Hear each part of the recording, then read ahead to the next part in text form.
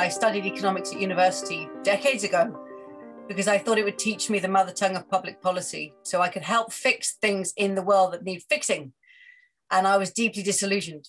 So I am part of a big team that aims to rewrite economics for the 21st century so that economics is actually fit now for the challenges we face, the reality and the context of the world.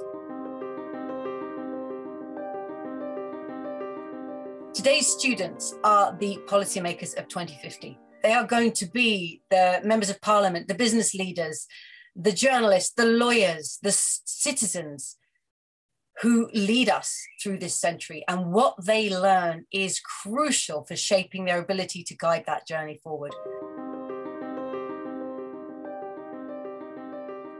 What it takes is leadership to break out, to look ahead, and to realize that change is not only inevitable, it is irresistible.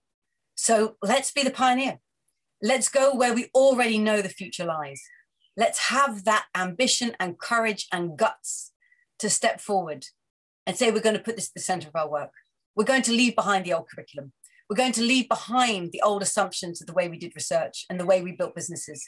We want to be part and at the pioneering part of driving that future.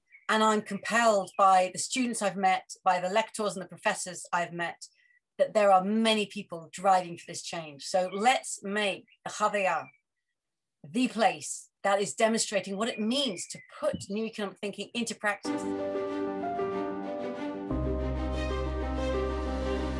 A University of Applied Sciences is all about practice. It's all about learning from that in action. I profoundly believe that 21st century economics will be practiced first and theorized later.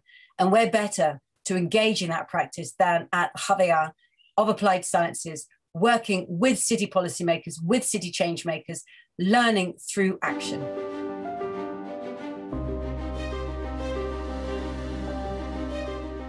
It's an incredible opportunity in a city that's already embraced the donut, that's already embraced transformation, a low carbon future, a circular future, it's an incredible opportunity for students to go to university in a city that's already welcoming this, that already wants them to emerge as the pioneers, as the practitioners, bringing that future about. The right university in the right city at the right time, that is irresistible.